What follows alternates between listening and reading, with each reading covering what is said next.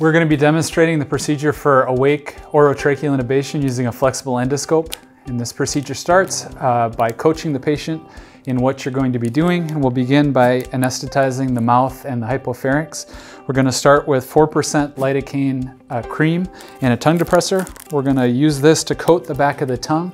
As the cream uh, dissolves and becomes more liquid, it's going to um, get down to the vocal cords and the laryngeal structures, which will also help with anesthesia. I'm going to use the back of the cap.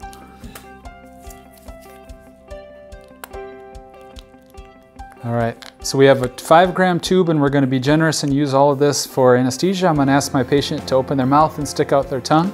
I'm gonna apply this to the back of the tongue without gagging the patient and let this just coat the tongue and get to the back of the throat and the patient can swallow or spit out uh, excess lidocaine.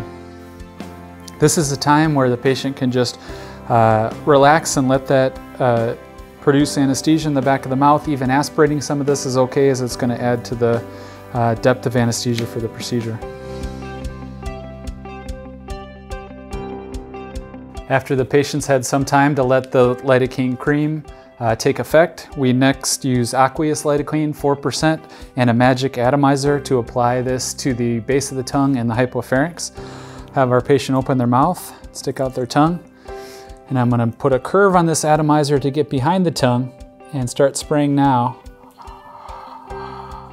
Try to get the perilaryngeal structures there. Patients able to gargle this lidocaine or just allow it to sit near the epiglottis. And when they're ready, we're going to apply some more.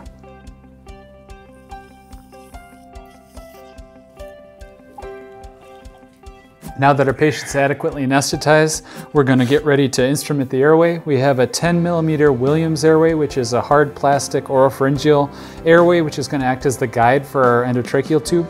In this case, I'm using a 6.0 um, microlaryngeal flex tip tube, so it does have an extra five centimeters on the end in this case. I'm gonna preload my tube so that the bevel is right at the end of the Williams airway before I insert it in the mouth. And in this case, I'm going to be uh, maintaining the Williams airway in the midline with the tip of that airway right above the vocal cords while my assistant performs endoscopy and then we intubate the trachea over the scope. So I'll have our patient open their mouth.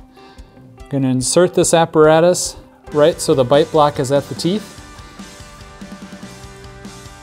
Begin endoscopy here and again we have a tube that's lubricated as well as the scope to make everything slide smoothly. We're both watching the screen and I'm positioning the Williams airway right in the midline, right above the epiglottis. Hey folks, Aaron here. I just wanted to do a quick aside to orient people that are maybe a little less familiar with bronchoscopy. Remember that during a bronchoscope introduction into the mouth or into the nose, we're actually facing the patient. So the image is going to be actually flipped from what we're traditionally used to seeing during laryngoscopy. So here's an image of somebody visualizing the vocal cords using the bronchoscope while you're facing the patient, looking through their mouth around the corner of the tongue.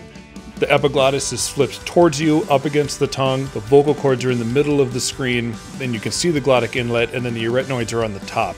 Contrast that with traditional laryngoscopy, which is seen here, and that is showing the epiglottis up and against the tongue with the blade in the vallecula engaging the ligament, and then the arytenoids are below, and the cords and the glottis are again seen in the middle of the screen.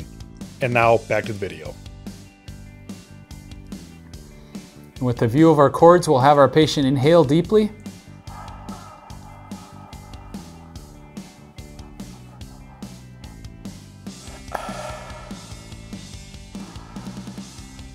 And then when our scope is in the trachea near the carina, we're going to intubate right over it by advancing the endotracheal tube over the scope.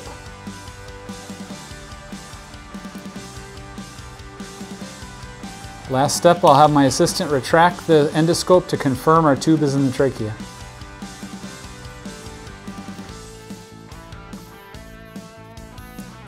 At this point, we'll administer sedation for the patient, make them more comfortable, and then the last step to remove the Williams airway from the patient when everything's stable and secured is to take the adapter off of the end of the tube and then remove the Williams over the pilot balloon, replacing the adapter at the end and resuming ventilation.